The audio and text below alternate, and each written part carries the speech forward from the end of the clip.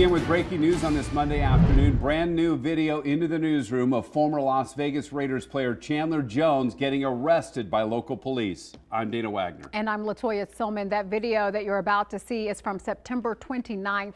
He had a protective order issued against him, preventing him from being near his ex-girlfriend.